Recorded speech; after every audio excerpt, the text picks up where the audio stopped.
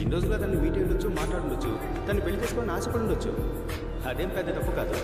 కానీ విషయం ఏంటంటే పోయిన శుక్రవారం మా ఇద్దరికి ఎంగేజ్మెంట్ ఫిక్స్ అయింది.